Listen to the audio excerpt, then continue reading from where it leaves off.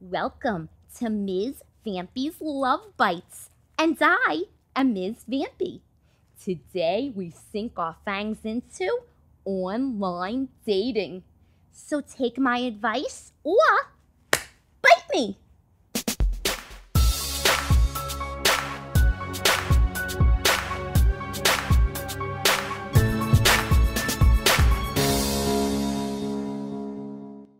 Today's Twitter question is I am newly single and thinking about trying online dating.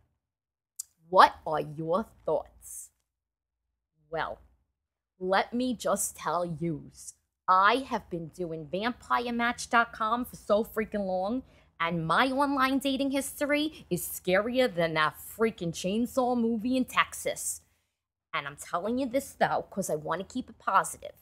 I think you should do it. I say, yeah, go online dating because you will branch out and get out of your comfort zone and you will meet people who you would never normally meet. And I think it's a great opportunity to broaden your horizons. However, be smart about it. What people don't realize is there's a lot of rules. And first and foremost, you got to decide what site or sites are right for you. So, are you looking for love? Go with, you know, Vampire Harmony. Or you're looking for a little something, something, something? Go with Plenty of Flesh. You know, make a decision that works for you. Then, once you do it, you gotta follow the rules online. And you gotta make sure that when you see people's pictures, they have more than one.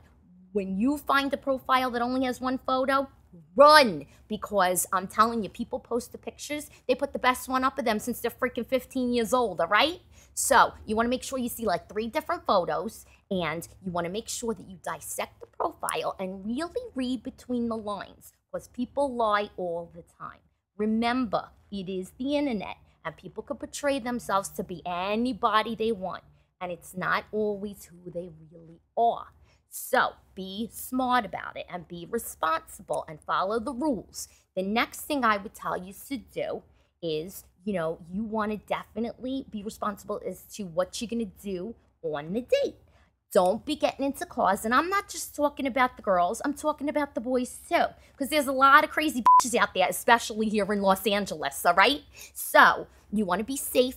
Don't get into cars. And remember, a lot of these online dating sites too are freaking sex fests, and I know it because a couple of werewolves tried to sneak in there on vampirematch.com and touch Ms. Vampy, all right? So just be smart and make responsible choices. And I also say, if you're going to do it, go out on a date and go out for one hour, all right?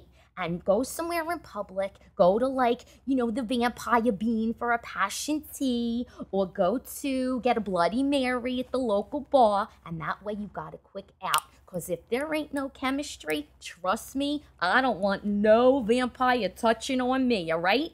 So, there's my advice for you today. Do it and be smart and follow the rules.